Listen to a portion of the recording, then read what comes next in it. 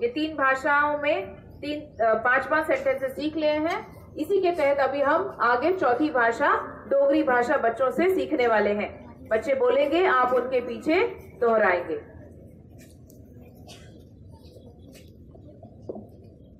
नमस्कार, आज भाषा संगम के तहत हमारी चौथी भाषा है डोगरी।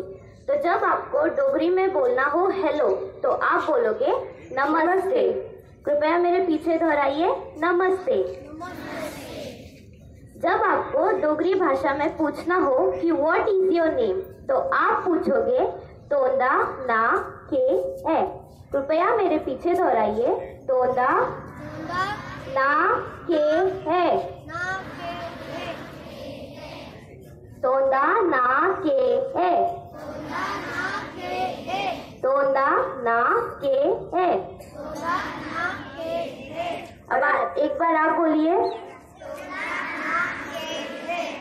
और जब आपको जवाब देना हो तो आप जवाब दोगे, मेरा नाम संचिता है मेरे पीछे दोहराइए, मेरा नाम जो आपका नाम है और ए।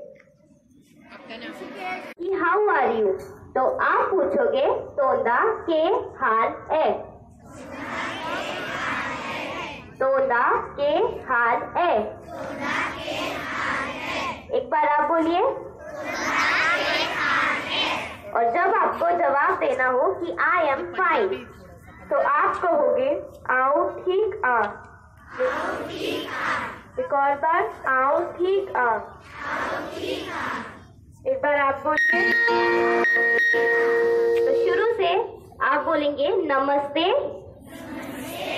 तोंदा के नाम है फिर आप अपना और जब आप बोलोगे हाउ आर यू तो तोंदा, के हाल है? मैं आऊँ आऊँ, बढ़िया थैंक यू